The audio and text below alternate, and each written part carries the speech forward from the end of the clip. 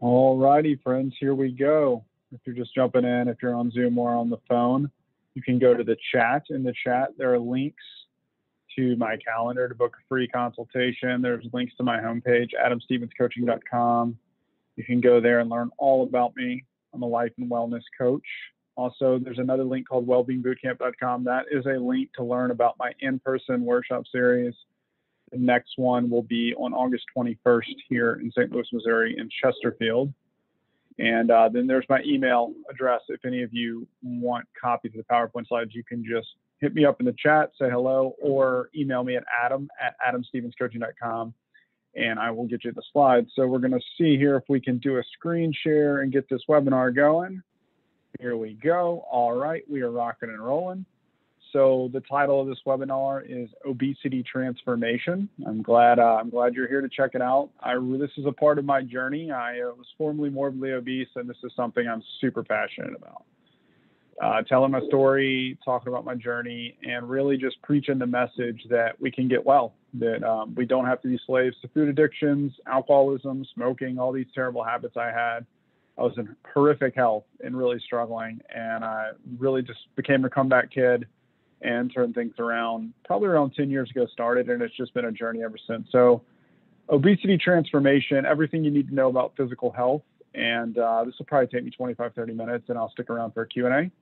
But anyway, I hope you're doing well, and here we go. So, first slide. My name's Adam Stephens. Like I said, I'm a life and wellness coach. I'm from St. Louis, Missouri. I'm a father, a husband, uh, a coach, friend, foodie, big time cook, runner, spiritual seeker. I'm a, a spiritual dude. Faith is a big part of my life. I'm married to my wife, Katie. We've been together almost 20 years. Got two kids, Hannah and Ben, eight and four.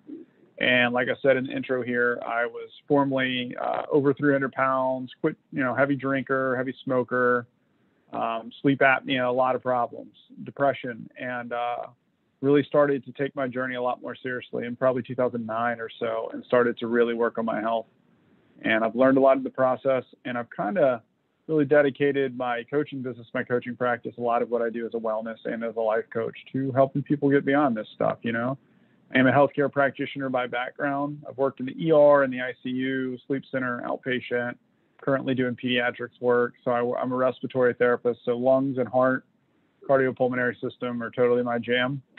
And uh, I work work with a lot of different patient populations to help them breathe better. And uh, you know, breathing is good. It's a big part of health. So anyway, that's my background. That's who I am. Um, so Next slide, my disclosures, right? So these are my opinions. I'm not paid by anyone. I don't offer products. I don't sell potions or uh, protein shakes or anything or any kind of plans. Uh, this is all stuff that I believe in, stuff that I've done myself. I worked with counselors, medical professionals, at a chiropractor trainers. Uh, I, ter- I, currently attend recovery meetings, so I have kind of a recovery focus. I, I, I see some of these wellness issues as addiction issues, codependency issues and I just do it one day at a time. So I'm, I'm not a guru myself. I'm not perfect. I don't believe in gurus. I don't believe in enlightenment. I just think we jump in there and do the best we can one day at a time. So anyway, um, what is health? Let's start there. Well, here's the Webster version, the dictionary. A person's mental or physical condition or the state of being free from illness or injury and here, so there's here's all the body systems. So when I went to Allied Health School and learned, uh, they they sort of start you out in what's called A&P, anatomy and physiology. Anatomy is the structures of the body, and physiology is how those structures work, what they do, how they're supposed to function. And pathology or pathophysiology is what happens when the body structures or the body systems aren't um, doing well and functioning properly, and that is um, pathologies or disease processes. So they kind of teach you those things in those three different buckets. And I just put this slide here because the body systems are really important and what you do to one area affects another. You know, if you smoke, for instance, you uh, reduce your oxygen consumption, you can blow out your lung tissue, and that puts an additional stress on your heart. Uh, if you have stress on your heart, you might have additional problems with your blood pressure. Uh, as well as electrolyte balances, kidney function, urinating, um, you know, your all, all kinds of stuff. So everything kind of is interwoven and interconnected everything from you know your pancreas all your endocrine organs your liver your belly your gut your microbiome everything is integrated we are marvelous creatures. And um, so, really, you want to think systematically when you're thinking about health. We're not just talking about crazy fad diets or putting butter in your coffee or any of this foolishness. We're talking about you are a living, breathing thing, and um, you're a very complex organism. And we have to approach it that way when we're going to talk about health, because as, as I'll teach you more, morbid obesity is a hormonal issue. It's a big deal, and um, it's a medical issue, and we have to really approach it from the whole concept. So, like I always say, I coach the health, the mindset, and the soul. So, I coach the physical being, I coach the mindset or the emotional, the intellectual being, and I coach the soul. Really help people tap into that spirit and find out what they're really built for in life and what they'd like to accomplish. So, got to take the systematic approach.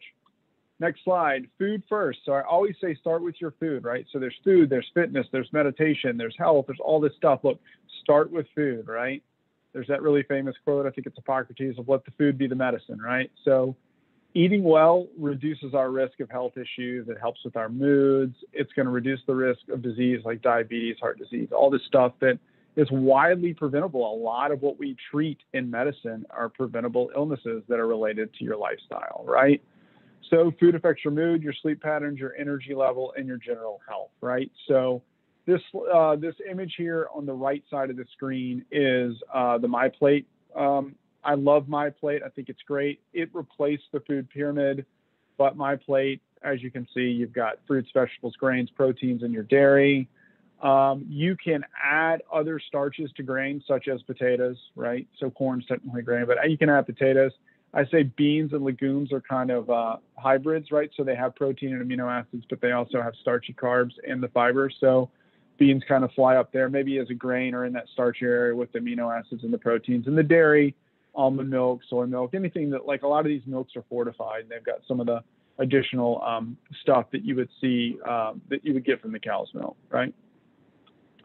Food conspiracy theories. So when we talk about like the real bulk of what we hear about food, here's just a few, and I put these in here just for humor. But big food has conspired with big pharma to keep us sick and make money animal products are poison, and the USDA has been bought off by meat and dairy lobbyists. Sugar industry produced the low-fat scare to sell more sugar. Kellogg's and create, created the, the breakfast is the most important meal slogan. Carbohydrates are unnecessary. We shouldn't eat them. They're bad. You don't eat carbs. You can, you know, your brain works better on gluconeogenesis and ketones anyway. You know, all this stuff, all this stuff, it, it's BS and it's bad for you. So you got to have this overall approach. We know we have a lot of good science and uh, in the ADA and the AHA and the food and the food.gov, you know, they're really going to back up. They're going to they're going to lead with what really accepted science is, right? And we all have biological diversity, and we have different different ways that we um, that we need to feed ourselves based on disease processes, genetics, whatever. But for the most part, the jury's pretty well in on most of this stuff, and we do know foundationally, nutritionally, uh, what is good for us. So the diet war, right? The top slide, these are the hippies, and the bottom slide is the cavemen. So I, um, I'm going to tell you about my favorite dietary strategy, or really lifestyle strategy, food strategy. But uh, on opposite sides of the spectrum are going to be the hippies, and you've guessed that. Those are the plant-based vegan types. And on the other side will be your paleo people, your primals, your carnivores, and your keto people. Those are going to be your meat people, right? And uh, both are wrong. Both are not super sustainable. Both have their place. And I guess uh, if you followed them under the guidance uh, and you were real careful and you made sure you were balanced, you could probably do all right on both. Although I'm still going to make the claim that you could do a lot better slightly towards the middle of the spectrum. And when we get to my favorite diet, I'm going to tell you what comes right down the middle and is easy to adapt and should work for almost all, all people. So plant-based or low carb, right? Hippies versus uh, hippies versus the cavemen, right? The hippies, John McDougall, Starch Solution, Joel Fuhrman, a uh, Eat to Live, big nutritarian guy. T. Colin Campbell is a PhD biochemist that uh, did China studies, st- st- stuff like that. He's real big on uh, vegan, plant-based. Esselstyn is uh, from the Cleveland Clinic. He's a cardiologist who used the China study protocols to uh, in a in a um, basically a high carbohydrate, low fat diet to begin to reduce um, heart disease. And he actually, in his model, the uh, the vegan diet beat out angioplasty, and um, and um, some of these people actually cured their heart disease. They did quite well. The caveman or Stephen Phinney, this is a guy, very low carb advocate, you know, who who famously, you know, had um, who spent seven years in ketosis, right? No carbohydrates. Dr. Uh, Fung, who wrote the obesity code, he's very much a keto advocate, but also um, is much more into fasting now. I think everybody's kind of jumping on this fasting camp. We're going to talk about fasting in a minute. Eric Berg is a chiropractor who's done a lot of uh, really kind of a YouTube celebrity about keto or the low carb diets. Mark Sisson uh, wrote Primal Blueprint. Out of everybody, I do like Mark. I think most of his stuff is good. I think he's an opportunist, and I think he has cashed in, and, and I don't totally get some of the company he hangs out with, but I do think a primal sort of moderate paleo approach does work for me at least, and uh, might not work for everybody, but it is is it is a good approach. And Robert Wolf's just another paleo guy. He's another guy that writes. I think he's a CrossFitter. A lot of the people in that more functional fitness camp, high conditioning camp, like real athletic type people, are going to be more on the on the side of a lot more protein, a lot more animal proteins, um, vegetation, and hardcore workouts. They're going to be much more uh, focused on those um, those amino acids, fatty acids, and different types of fat. And um, but both sides, both both sides of this argument um, have flaws in, in in their in their theory and in the practice of these diets. So I'm just just making that case right now. So uh, next slide. Uh, so I say meet me in the middle, right? So a focus on vegetation, whole foods is really crucial. You have to have a focus on vegetables, whole foods. Um, there are challenges to both approach approaches, as I just said. There's a lot of overlap, though. Dr. Hyman, who you know, a lot of people think he's a quack. I do think, in some regards, he's a quack. But he did he did make one little quote. He said we should all be pegans. Pegans was his his little um, gaff about uh, paleos and vegans, right? And so if you think about it, you're going to see fruits, vegetables, uh, complex starches like squash, uh, sweet potatoes, nuts, seeds, stuff like quinoa, you're going to see a big focus on whole foods, whether you go to the vegan camp or to the paleo camp. So, really, we should be focusing on that fruits, vegetables, complex starches, nuts, and seeds. Um, and then, you know, you probably, you know, good, good quality whole grains for whole grains for most people. That's going to be the bulk of your diet. And I think just about everybody would agree with that. Um, we should all incorporate nuts and seeds, and fiber is a really big deal. I'll talk more about that, but fiber is a big deal. Uh, here's a plant cell. This image, the reason I'm using this image is because as you see, if you remember from bio, biology, probably sixth, seventh grade, there was the plant cell and the animal cell and the cytoplasm and the endoplasmic reticulum and the nuclei and the nucleolus. The reason I'm showing you this slide is because it's got this thick green cell wall, and that thick cell wall in plants is what fiber is, right? You got soluble, you got unsoluble fiber, but that is actually indigestible by the human gut. So the gut has to work on it a long time. So it slows down absorption, it slows down digestion, and it buffers um, glucose. It buffers your blood sugar. So, right? So, if we have plenty of these plants and we combine those with good amino acids and proteins, what we're going to do is we're going to give our body a ton of great nutrition. The plants have the phytochemicals, all the good vitamins and stuff, um, and, elect- and all kinds of minerals, and we're going to give it some good amino acids and plenty of those plants in the vegetation and that fiber. That's going to give us a good bolus of nutrition but it's going to burn out real slowly, and we're not going to get these huge sugar spikes that you're going to find in, unre- in in the real refined grains and sugars, and some really just some of the crap that we're eating in our culture and that's readily available to us. So we're all different. So some people do better on that higher protein, low glycemic fruits, less grain. I'm one of those people.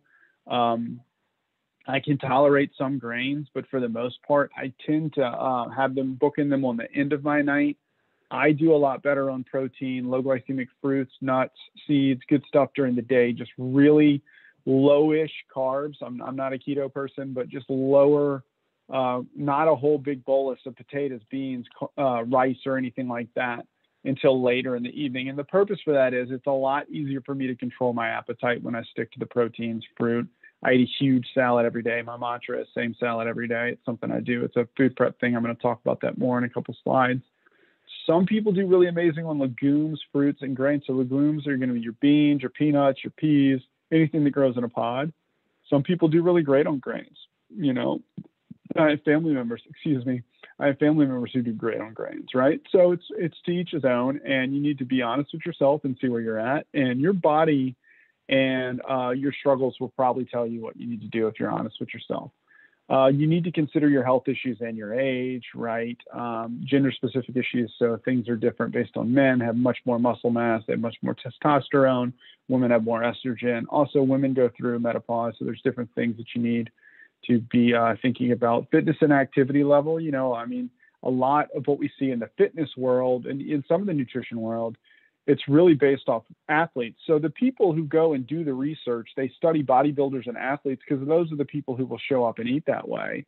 They're looking to do anything they do they can do to get an edge, right? So those people will um, they'll participate in the research. They'll take steroids. They'll do whatever. So most of the um, the good like so the stuff in the previous slides, right? Esselstyn, T. Colin Campbell, a lot of these people who've done this research they're doing this research on the basics of human and medical health, whereas a lot of what comes out of the fitness world and and somewhat into the nutrition world is based on all this research that's really um, you know like your basic thing like you got your fitness model you got your basically ripped dude or your ripped chick and there's protein shakes and tons of chicken breast and broccoli and uh, and your athletic greens your greens and all and your hydration and all. And so there's just this real big emphasis on I don't really think that really a lot of people are being represented in a way. I don't think that really a lot of people are being taught just the basics for what you need for metabolism, for good bone density, for good vital signs, for your blood, blood pressure, for your heart. Um, I don't think people are really focusing on that. I think people are have a different objective. Sometimes the objective in our culture is how we want to look versus what our body needs to function well and feel well. So how you look your BMI or your body fat percentage, that's only one part of the equation. You should always be focusing on how you feel and what your overall health is.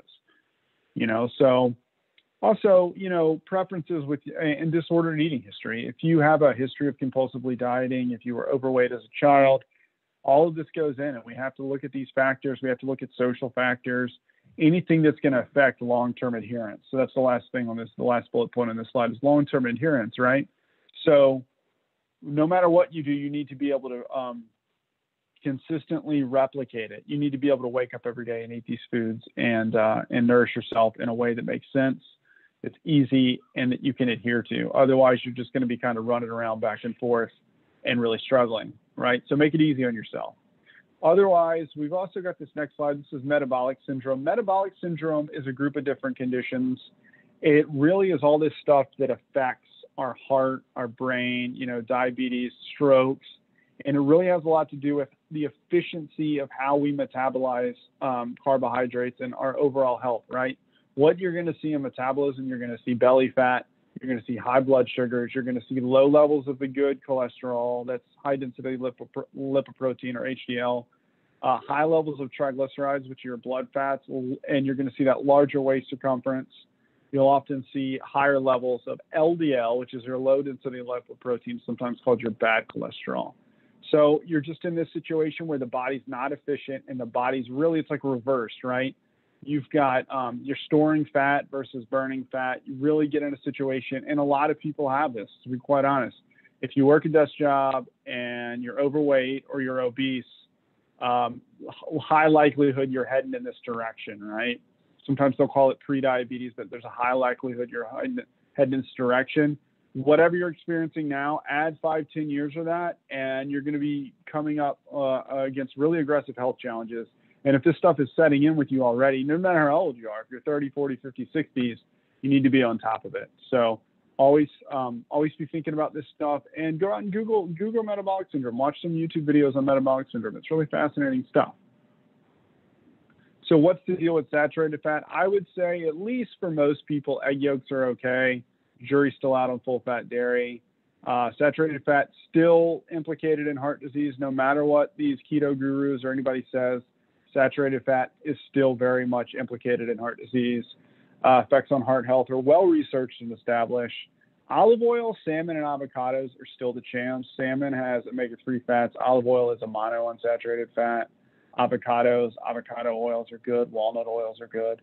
So red and processed meats still frowned upon in almost all medical circles. And the double whammy here is that studies suggest that individuals who eat the most saturated fat probably aren't eating near enough fruits and vegetables either. So when they just anecdotally ask people in questionnaires how much saturated fat do you eat or what are you eating, when they tallied up the more saturated fat people were eating, the less overall fruits and vegetation they were eating. And that's that's a terrible scenario because we know that these fruits and vegetables are like they turn cancer off. These are the most the best foods for us, and so there's that double whammy there. So the award goes to what is my favorite diet? What's the middle of the spectrum? What do I think we should all really focus on? Is the Mediterranean diet or the Mediterranean lifestyle. So this is inspired by the eating habits of Greece, Italy, and Spain in the 1960s. It includes high amounts of olive oil, legumes, unrefined grains, fruits, and vegetables, moderate to high amount of fish, moderate dairy products like cheese and yogurt, and moderate wine consumption, very low very low consumption of non-fish meat, right? So uh, I'm going to talk more about why I like this, but this was a big game changer for me, especially the olive oil. Uh, people ask me all the time, Adam, how did you lose 125 pounds? And the first thing I say is I eat plenty of vegetables, and the second thing I say is I eat plenty of fat. Olive oil in itself, the reason people they go on the kind of fad diet, right? Like they know they need to lose weight. Maybe you've done this, I've done this you go get chicken breast, you get steamed broccoli, and you eat steamed broccoli and chicken breast and carrot sticks, and maybe you eat yourself a little non-fat, sugar-free vanilla bean Greek yogurt or something, and you're starving, right? I'm going to tell you something. You should put some olive oil on the broccoli. Eat eat a copious amount of vegetables. Use olive oil.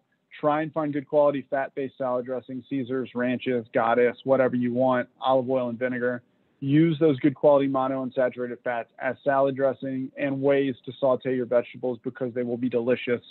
It will be more satisfying. And when you pair that with good quality proteins, fish, tilapia, salmon, shrimp, uh, chicken breast, you'll be a lot better off. So I love the Mediterranean diet. And the cool thing is, if you start there, if we just go a little bit towards the hippie camp, we can go into that vegan realm. If you have spiritual beliefs or you have some sort of beliefs about um, meat, that's fine. You can go a little bit more towards that vegan camp. And if you are a person that doesn't do great on grains or anything, you can go just a little bit more towards that paleo camp and do a little bit heavier meat.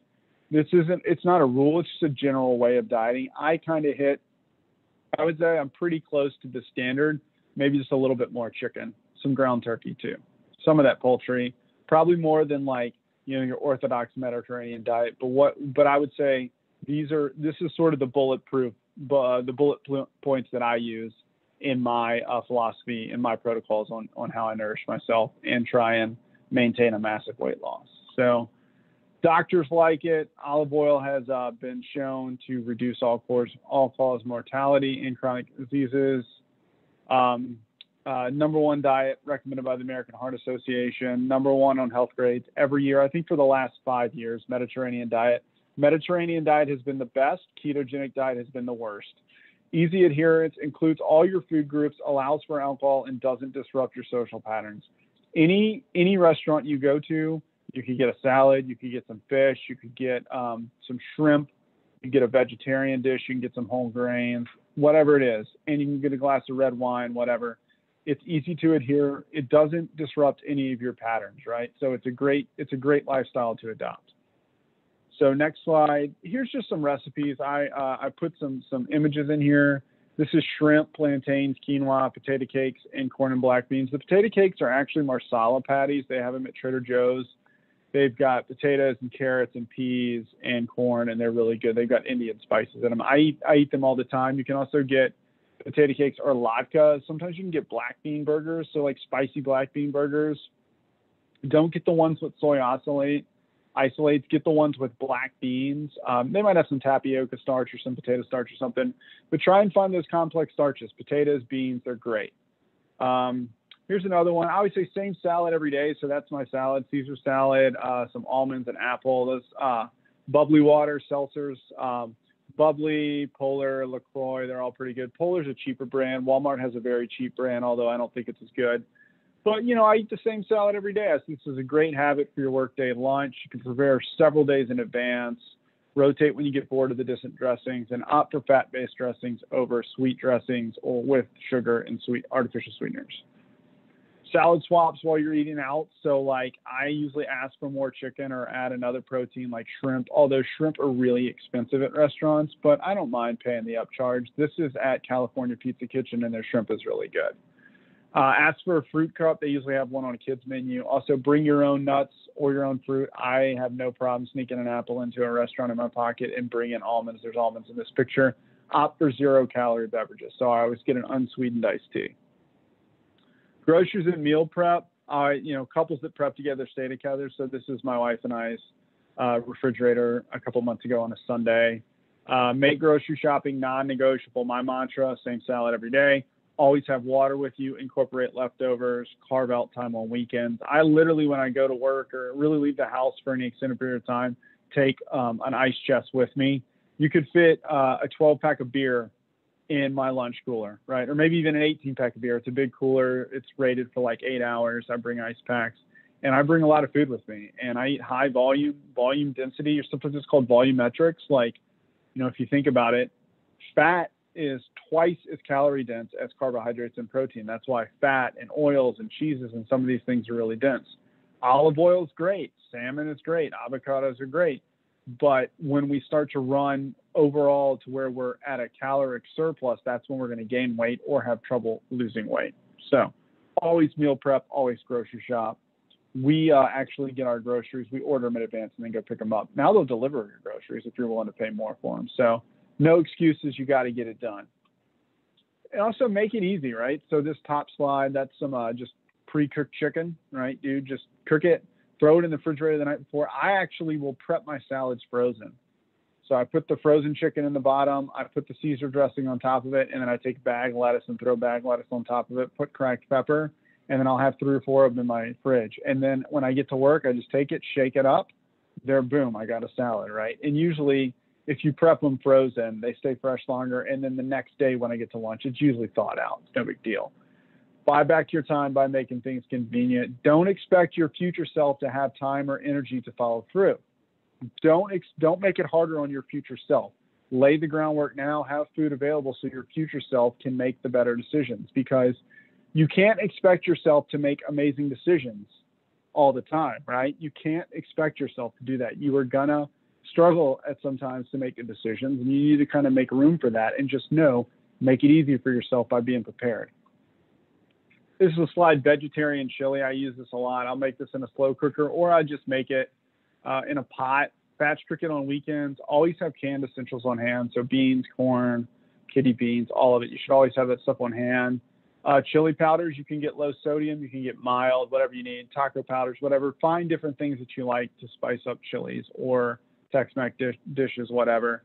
Uh, these are really great uses of legumes, proteins, good quality starches, good stuff right here.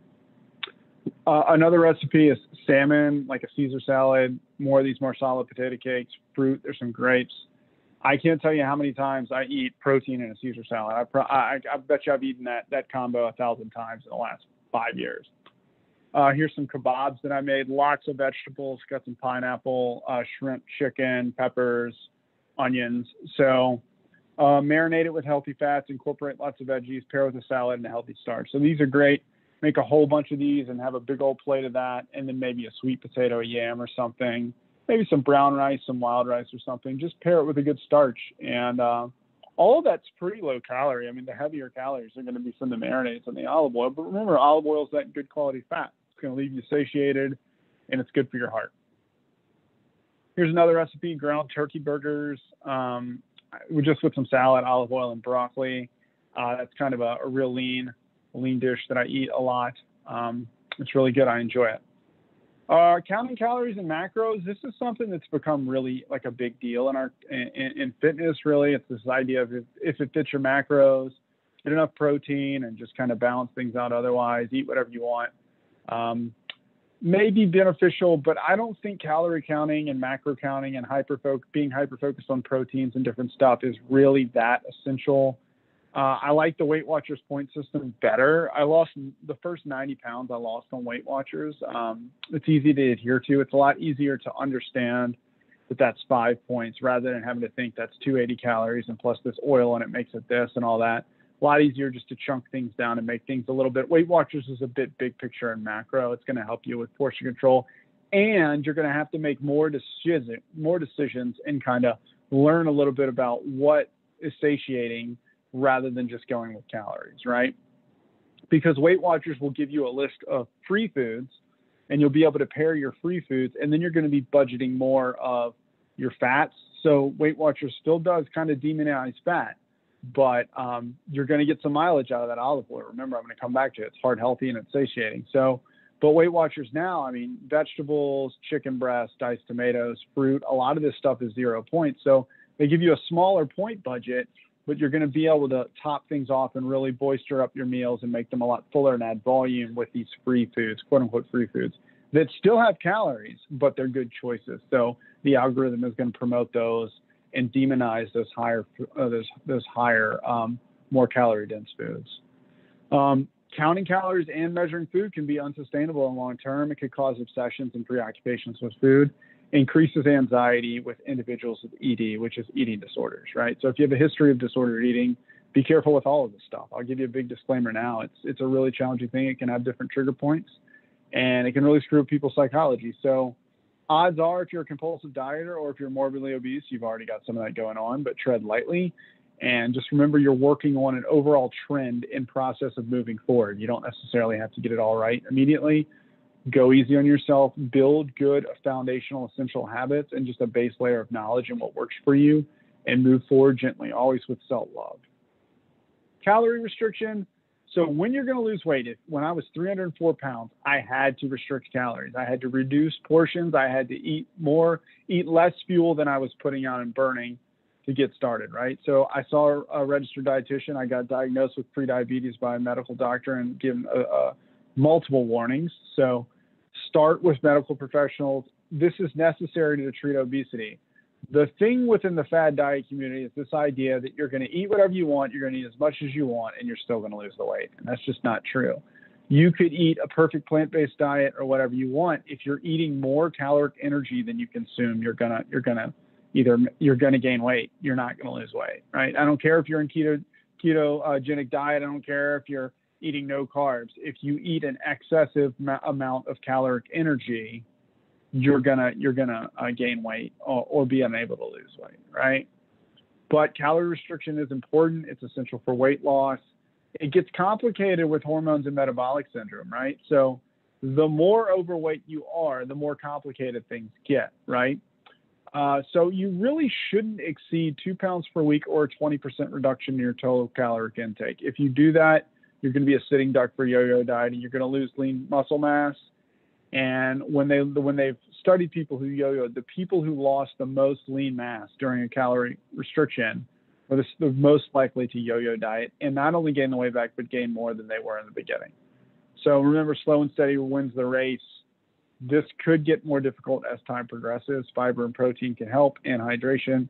Trying to stay fuller as you're reducing your caloric intake to lose weight and morbidly obese individuals may have complex issues, issues with um, skin, issues uh, with all sorts of stuff. They may even initially, even with really good habits, I still had high blood sugars. Not terribly high, but they were still in that worrisome range. And even today, eating a great diet, my my fasting glucose, it's not it's not near in the pre pre diabetic range anymore but I still run higher. I still run on the upper end of normal and healthy, just part probably genetics and perhaps part of um, what uh, over the years of just eating a ton of carbs and treating my body poorly for several years. Beware of the binge. You know, if you if you diet long enough, you're gonna you're gonna struggle. So you have to have meals and snacks readily available. Don't keep junk food in the house. If there's ice cream in my house, I'm eating ice cream. So it's got I, I got to keep it out of the house stay hydrated, avoid hyperpalatable foods. So chips, Cheetos, pizza, uh, ice cream. I'm not saying we can never have these things, but if they're in the house and they're regular occurrences in your life, you're going to struggle. So these hyperpalatable foods, these are foods that are designed to be really good, uh, really pleasurable, and they're dangerous. And I personally think we should be uh, having the same level of vigilance we have with sugars, refined carbohydrates. I think we should practice the same level of vigilance with refined carbs as we do with alcohol. For instance, everybody knows you probably shouldn't wake up and start drinking alcohol at eight or nine in the morning. Most of us have a, a certain amount of respect and caution around alcohol. I think we should have the same amount of caution with refined carbohydrate. I'm not saying you're a junkie if you eat a donut. I'm just saying these these foods have proven, and there's there's there's research to suggest that they are highly addictive. Um, don't overexercise or punish yourself through activity. I have a rule: if I um if if I eat a bit much or if I find myself struggling with overeating a bit, I won't work out that day. So I don't ever work out on a day that I had kind of a tough food day. I no longer call them bad food days. Just some days, for any number of reasons, maybe I have a meal that I don't enjoy and then I and I eat something else later, whatever it is. Any number of reasons. If I have a day where I kind of have a little bit of guilt around food or I overeat a little bit, I, I don't exercise that day. So I don't ever try and compensate or punish. Uh, journal about your emotional triggers and consider support. You know, OA is Overeaters Anonymous, EDA is Eating Disorders Anonymous, any other 12 step groups, or Weight Watchers, Jenny Craig, whatever. Um, bariatric support group, whatever, like try and find other people who are also struggling because you'll be able to understand either from the people that are struggling and the people who have gotten better and some of the professionals that kind of hang out around some of these programs, you'll be able to find some um, some common ground with other people practice mindful or intuitive eating. So remember, intuitive eating is a really different goal than, say, weight loss. But intuitive eating would be really good for that person who is at a normal weight and is learning to eat with self love, enjoy foods uh, in moderation, stuff like that. That's going to be a different goal than, say, losing 120 pounds. But oh, it's a good goal to head towards and maybe a strategy that you can learn later on down the road. I've done my best to learn some of that, and it's pretty hard. But you know, um, I hang in there, and, and I feel like I, I, feel like I've managed to be pretty mindful about what I'm eating, and um, I'm, pretty careful not to be too restrictive, but also I exercise a good amount of caution, and I um, I use a pretty strict protocol with how I eat to make sure I'm not, you know, constantly uh, causing myself a lot a lot of misery and cravings because I'm eating uh, eating too much uh, junk. Um, apps and monitors can be helpful initially, but aren't very accurate. I don't think that that's very accurate. Um, same issues as tracking and countering can trigger anxiety and obsession. Not great for people with eating disorders. Um, I've tried several. I no longer use apps or monitors. I do follow the step count on my phone, although you know um, the phone most of the time it's on my desk. But if it's in my if it's in my pant pocket, you know I'll count my steps. And I um, but that's really about as far as I go. I don't use a, a Fitbit anymore fasting this is a really big buzz concept right now adf or alternate day fasting 5-2 which is five days of normal eating and two low calorie days or if intermittent fasting uh, the research really it shows no benefit over traditional dieting weight loss but the time restricted eating pattern so i'm not talking about these don't eat for two days or anything or um, uh, alternate day or anything just time restricted feeding where like you know you have 10 12 14 hours where you're fasting which is totally doable if you don't eat in the evenings and uh, and you don't eat again until you wake up. There may be some metabolic uh, benefits, such as improved uh, blood sugar control and insulin sensitivity. Uh, could be helpful in adherence to the glucose control and the hunger hormones.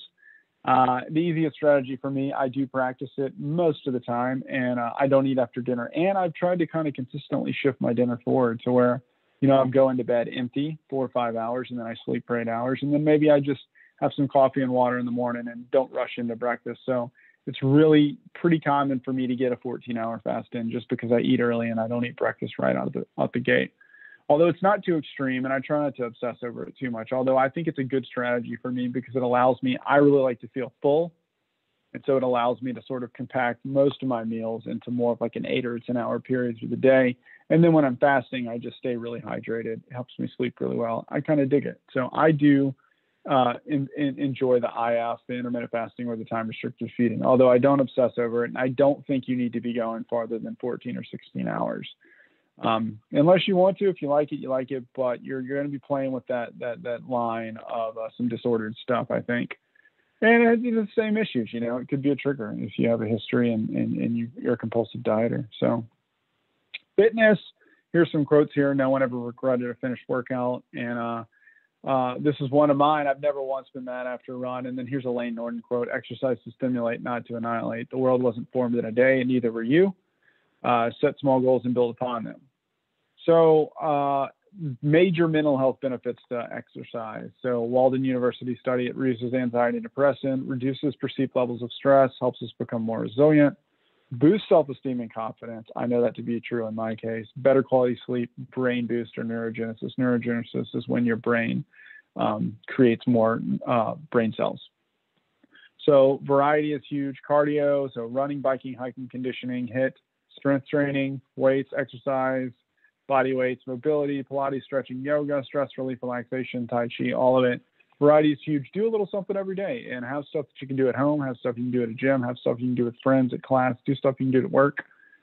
Um, mitochondria and conditioning, I'm just going to zip through this pretty quick, but we want to get to a point where we can put out 60, 60 to 70% of our max heart rate, which you can find by taking 220 and subtracting your age because the more we can train at that zone two, at that fat burning stage, the more efficiency we are going to get um, in metabolizing glucose and fatty acids. So, elite athletes can accomplish four or five, six times more work while remaining in that anaerobic state. Usually, in that zone two, you're still you're still you're not you're not so hardcore that you're that you're going past oxygen, right? So in that zone two, you should be able to stay aerobic, meaning you're um, you're working out hard enough, but not so hard that you have to go, you have to move. So once the body can't get enough oxygen to put out to put out the work, if you continue to push your heart, your body has to start metabolizing other stuff other than glucose to uh, to get the output. And so usually you want to condition really well at that 60 to 70 percent max range. That way you're continuing to get more efficient at metabolizing oxygen and glucose and sort of this is why cyclists have huge legs. They have little upper body, but they have huge legs and they can eat whatever they want because they're out there riding 30, 40 miles. I have friends that ride over 100 miles a week, Monday through Friday. They're riding 30, 40 miles after work and stuff. And they can eat anything they want and stay thin because they're burning so many calories. Uh, because the leg muscles are an enormous muscles. Your quads, your glutes, and your hamstrings are the biggest muscles on your body. And when you cycle, you work all of them. So much higher tolerance of carbohydrates after these adapt- adaptations set in. So we should all be working towards that. I'm not saying we should all do that, but we should be trying our best. Mobility.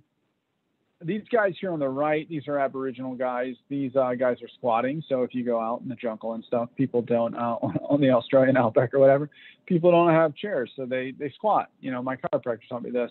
This is another guy who's using a post to do an Aboriginal squat or what's called an assisted squat this is the number one thing I tell people if they have back problems. This helps my back so much. I do Aboriginal squats every single day. I do them at work. I do them at home. They're great. Uh, this is called a pretzel stretch. The one on the left is a pretzel stretch. Helps with those uh, hip flexors and the hamstrings and all, and your uh, your hips. Uh, the the guy on the right is doing a quad stretch. Uh, cardiovascular exercise, so we talked about that a few minutes ago, but it's great for conditioning, cheap and easy. You can do it at home or in your neighborhood. Good for busy people, and a little goes a long way. Very good mental health benefits. And self love, right? So don't use exercise to earn food. Don't punish yourself, and fuel your workouts and recovery properly. And be cautious of industry, uh, injuries. So, um, anyway, that's it. That's all my slides. That's the entire slide deck. So anyway, I hope you got something out of that. Um, love to talk to you one-on-one more about what I do as a coach and how I help people facilitate the same changes and transformations that I have. Right? I've lost 120 pounds. Was a daily drinker. I don't drink alcohol. I quit smoking.